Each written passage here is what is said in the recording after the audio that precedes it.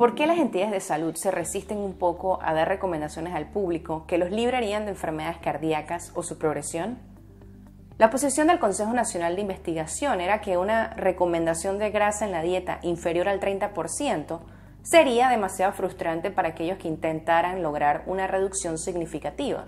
Aunque no se sabe en qué medida la gente va a adoptar la recomendación, sin embargo es científico y éticamente imperativo informar al público cuál es la mejor dieta. Los médicos deben decirle la verdad al público acerca de lo que es mejor para la salud y dejar que ellos decidan si quieren o no seguir las recomendaciones. Cuando a un panel de expertos se le puso el reto de responder a la pregunta, ¿qué le dices a un paciente que dice, haría cualquier cosa con tal de no tener nunca enfermedades cardíacas? O tuvo un ataque cardíaco y no quiero tener otro nunca más. Las respuestas variaron entre denles de comer frijoles, frijoles y más frijoles, y ya es hora de que el público adopte una dieta a base de plantas. Esto no es vegetarianismo. Los vegetarianos y veganos a menudo consumen todo tipo de comida chatarra. Tener una dieta entre comillas vegana no significa comer saludable, pues no todos los veganos tienen como prioridad su salud. Hay veganos que viven de papas fritas, carnes falsas y otras comidas procesadas. El nuevo paradigma es nutrición exclusivamente a base de plantas. Alimentos vegetales integrales enteros. ¿Por qué exclusivamente? Porque como se informó en el estudio de China, entre más alimentos de origen vegetal y menos alimentos de origen animal, mejor.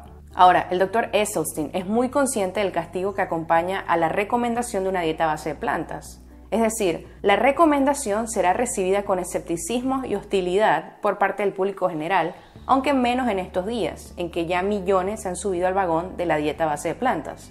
Pero esa hostilidad es peculiar, porque muchas culturas se sostienen con este tipo de dieta, una dieta a base de plantas, y disfrutan de su sabor, textura y variedad, así como de sus cualidades promotoras de salud. Sin embargo, la preferencia de cierto tipo de dieta es algo profundamente personal, y la gente puede fácilmente ofenderse, es normal. Sin embargo, el público tiene derecho a saber la verdad, tal como lo entienden los expertos en biología nutricional acerca de lo que constituye la dieta más segura y saludable. Algunos critican esta dieta basada exclusivamente en plantas, considerándola extrema o draconiana. El diccionario define draconiano como inhumanamente cruel. Una mirada más cercana revela que la nutrición a base de plantas no debe ser considerada extrema o inhumanamente cruel.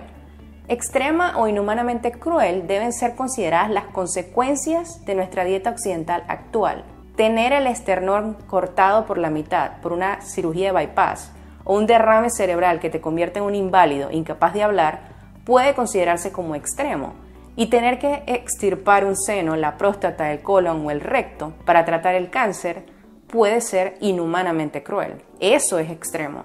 Comer sopa de frijoles, por ejemplo, es fácil. Así termina otro video de plantaderevolution.com. Suscríbete para nuevo contenido todos los días, comparte este video en las redes sociales, dale me gusta y recuerda, lo aquí presentado no es una opinión, es ciencia.